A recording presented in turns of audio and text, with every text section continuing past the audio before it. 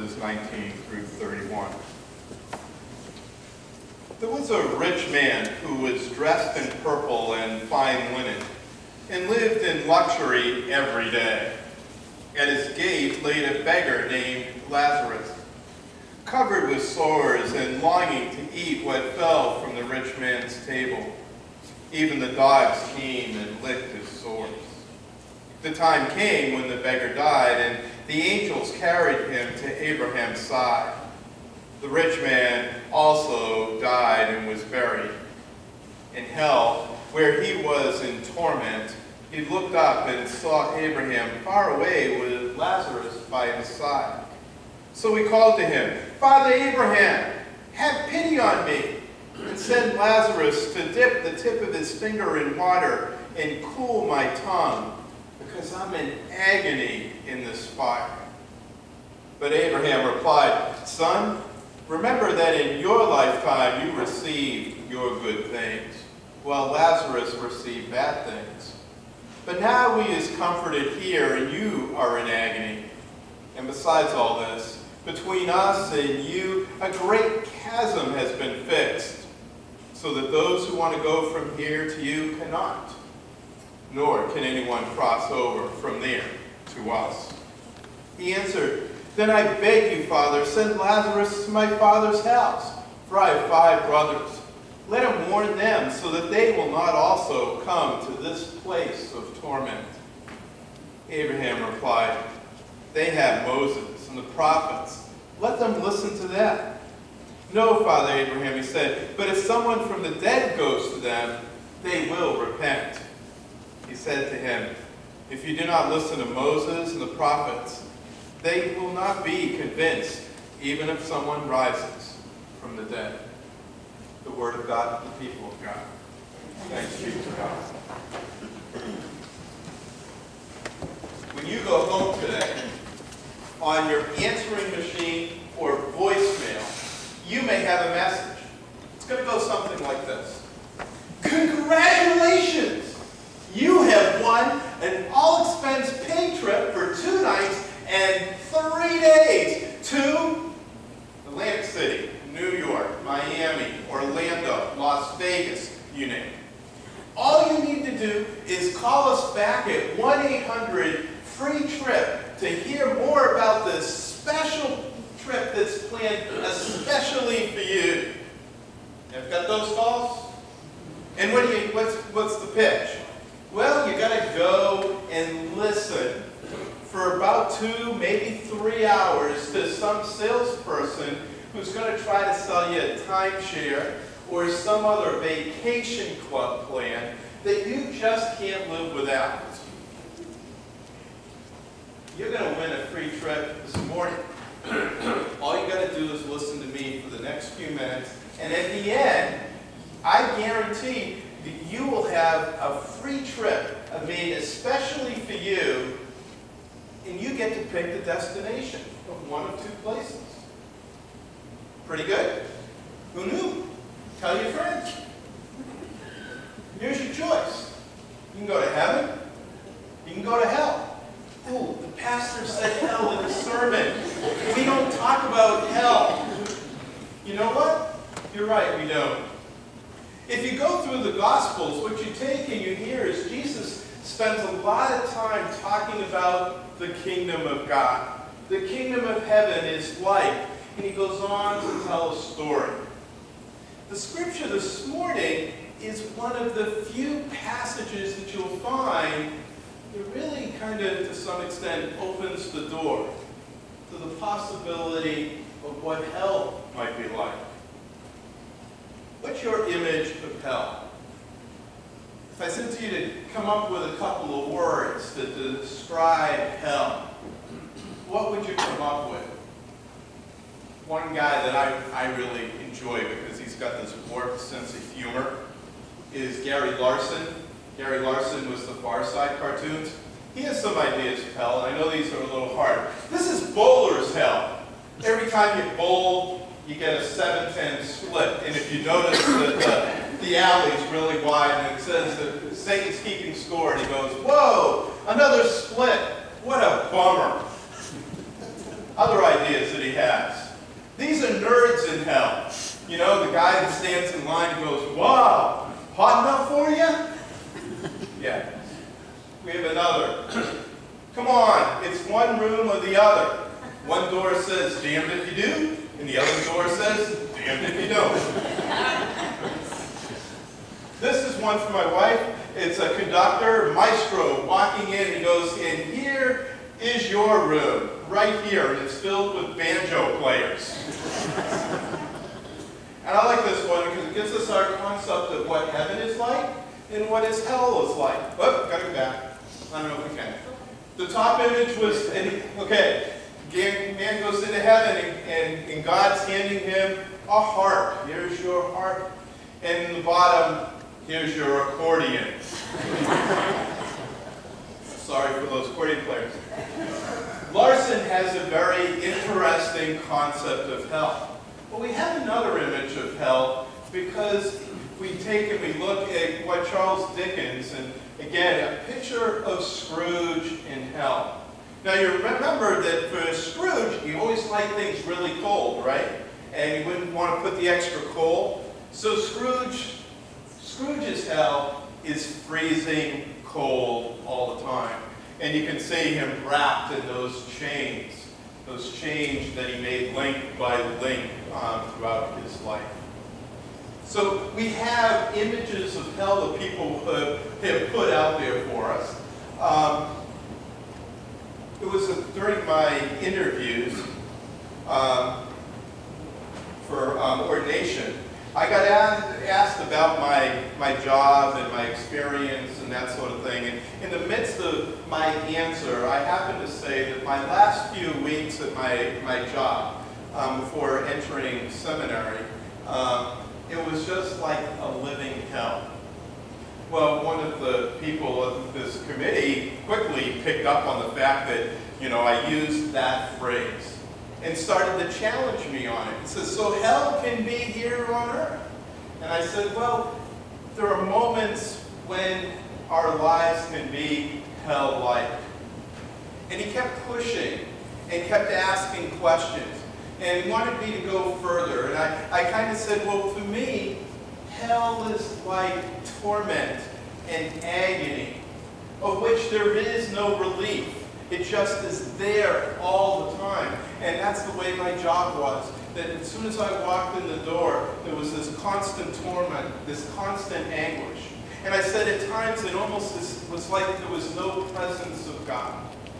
Well, that didn't sit well, you can imagine. He says, so God isn't present everywhere and all the time? And I said, well, it, it was like when I walked in the door, there was no compassion, there was no grace, there was no understanding, there was no forgiveness. It was almost as if God just wasn't present. Well, afterwards, the the gentleman who was a pastor came up to me and I kind of looked at him and I went, wow, because the whole time I'm just, was really like, what am I doing? I'm digging myself in. And he said two things. One, he, he pushed because he wanted to see if I would back off and I become wishy-washy and waver in my response because I was getting pushed. The other one was he said that he wanted to push on the concept of hell. That most people, that's not something that we think about. We have images of heaven. We don't have a really good image of hell. But we have one in the scripture, don't we? This rich man who has had everything in his life now finds himself in this place. And those same words are there. Torment, constant torment. He's in agony. He's begging Abraham to take and send Lazarus by the way, it's not Mary and Martha's brother Lazarus. It is not the Lazarus that got raised from the dead. It's just a fellow named Lazarus. He's begging to send Lazarus down. Just dip his finger in the in water to take and place it upon my lips to take and, and lift me from this agony, this anguish that I'm in. Imagine being in that place. And there's something further. Did you catch the part about the chasm? That idea that, can you imagine how it would be to be in a place of torment and anguish a place that seems to be absent from the presence of God, and yet you can see across. To see people who are blessed, who are, who are in the midst of joy, and these people are there, and you can't get there, and they can't get to you. It also says to me that there's a sense of permanence. That, you know, it's not a case of people are jumping back and forth between heaven and between hell. It's almost like once you're there, you're there, folks. It should take and begin to, to some extent, churn within us. It should begin to ask a real question, I would hope. Which destination are we headed for? Which place is our eternal resting spot? Again, it's not something we, we tend to think about. Most of the time what we do is want to take and, and push people towards that idea of heaven. That's the prize. That's the thing we're all reaching for. And if we're all good boys and girls and we say our prayers, we all go to heaven and we have a big smile on our face. But we need to understand that if heaven comes as a result of our relationship with Jesus Christ. It comes as a result of our faith and our trust in God. It has something to do with that idea of confession and repenting to understand that we are not perfect human beings, but Jesus came into the world not to condemn us, but to save us. And it's that theme that we need to take and have close to our own hearts. That we are not condemned, and yet each and every one of us can be saved by simply acknowledging Jesus Christ as our Lord and Savior. Coming and confessing that we are not the people we want to be, what God wants us to be. But there's a second part of this story too. Did you hear the anguish that the rich man had? Because his me this message of, of, of lifelong eternal torment was probably maybe there for his brothers too. And he wanted to take and save them from his fate. He said, please, send Lazarus to them. Send a message to them so that they understand that this does not have to be their fate too. But as Abraham explains, well, you know, it's there for them. It's there in, in, in the scriptures with Moses. It's there with the prophets. It's there in all for us to hear and to be warned about. And there's something to be said that if we took and were exposed to hell just for five minutes, would we not come back and do everything in our power to save our family, our friends, our neighbors, our co-workers from that eternal torment and agony? Would you not take and, and push to the best that you could so that others would not have to experience that for themselves? You see, there's one thing, direction we can always go in. We can always go in and everything is fine and put happy smiles on our faces and think in a positive way that everything will be just fine. Put your trust in God, put your trust in Jesus, and everything will be fine. But if we're not doing what we can to take and build that relationship with God and Jesus for ourselves, and if we're not taking and sharing both sides of the coin, then I'm not sure we're doing all that God expects of us to do.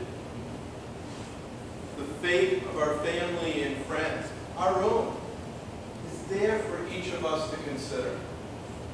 We can leave this place this morning and go, that's okay, I go to church on Sunday morning, I don't have to worry about hell, I don't have to worry about that. Well, you know what? That's really good news.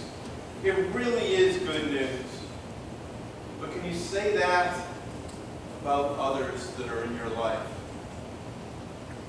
We have an opportunity not only to make a difference for all eternity for us, but to take and have a responsibility to help those around us. I think to some extent that's what the walk to Emmaus is about, to help us grow deeper in our faith, to help us have an understanding of our relationship with God and with Jesus Christ, and to come back and share the difference that's in our lives with those around us. It's scary sometimes to share our faith. It's sometimes it's difficult to get real with people, especially those who want to push aside our faith, or push aside our God, push aside our Savior, Jesus Christ. God has placed those people in our lives. In what we did, in what we said, to make an eternal difference in their lives. Says a lot about who we are. I don't know where you are this morning. I don't know if you have that incredible confidence that you have an eternal resting place in the kingdom of heaven. I don't know if you're worried about whether you're getting a harp or an accordion. But what I do know is that when we become real with God and real with Jesus Christ, and come to understand that it's in that special moment when we acknowledge the fact we're all sinners and that our, the saving grace rests with God and with the Son, Jesus Christ. And when we make that acknowledgement, we begin to take and journey close into that relationship that will be an everlasting relationship with Christ in his we come to this time, as we wrap up with a time of prayer, I invite you to pray with me, maybe if it's for the first time, to come and acknowledge Jesus Christ as your Lord and Savior. And acknowledge your own sin before God and before Christ. And come to understand that as we make that acknowledgement, we come into the blessed saving grace of Jesus Christ. We will have our place in heaven. So let's come down before God, before Christ.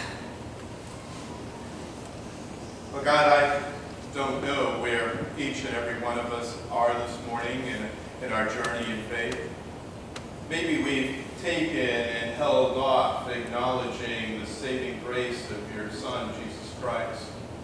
But we have other times and we're still unsure of, of that love that you poured out.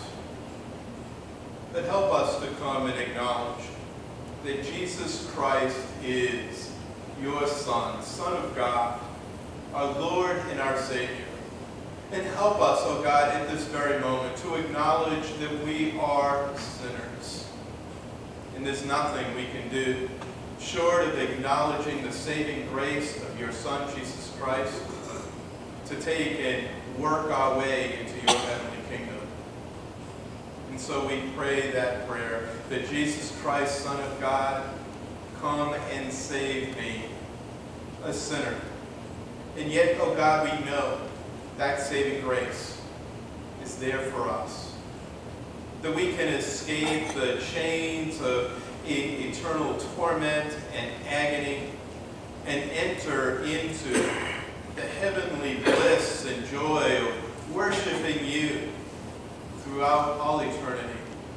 That we can take and know that there is a table set at your heavenly banquet of which we can come. That we will know blessings beyond our wildest imagination. And it begins with our understanding that your Son came into this world not to condemn, but to save each and every one of us from our sin. And that in his name we will not perish, but have eternal life. That is part of your heavenly kingdom. And for that, O oh God, in your Son, Jesus Christ's holy name, we take and pray and say thank you. Amen. I invite you to stand as you're able and let us join together and